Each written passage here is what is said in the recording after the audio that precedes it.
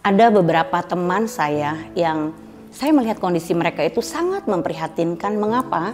Karena mereka menjaminkan nama mereka kepada pihak-pihak yang terkait. Contoh, mereka menjaminkan dan memberikan kartu kredit mereka untuk dipakai temannya atau saudaranya dalam membelanjakan barang-barang tertentu. Bahkan ada yang sampai menjaminkan sertifikat rumahnya atau BPKB mobilnya untuk menolong ya saudaranya atau teman-temannya. Dan akhirnya apa yang terjadi ketika mereka sudah menjaminkan dan menandatangani kesepakatan tersebut di saat saudaranya atau temannya tidak memenuhi tanggung jawabnya, dirinya lah yang harus menghadapi resiko dan bertanggung jawab melunasi semua pemakaian keuangan yang dipinjam tersebut.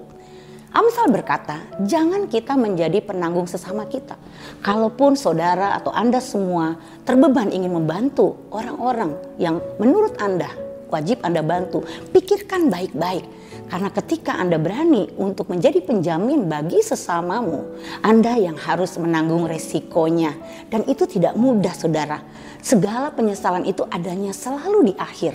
Jadi untuk Bapak Ibu saudara-saudara semua yang mau menolong orang lain, coba pikirkan baik-baik akibatnya.